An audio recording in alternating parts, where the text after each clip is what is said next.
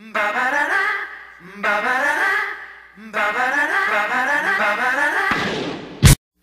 shot that arrow in your throat? Who missed the crimson apple?